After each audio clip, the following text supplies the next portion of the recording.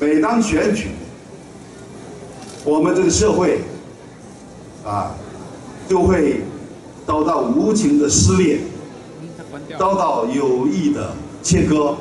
他是这个呃黄敏的后裔，台湾黄敏的后裔，同李登辉一样的，他的爷爷同李登辉是一样的，切割了我们民族的这种感情，分裂了我们社会的凝聚。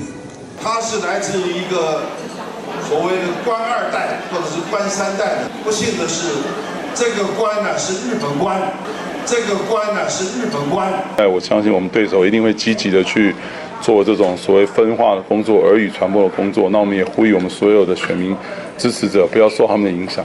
五党联盟就是台独，所以我当时啊，就用了“混蛋”两个字来形容这样子的一个现象和这样子的一个事情。我并没有针对任何的人。现在又来了，他是平民，老子是权贵。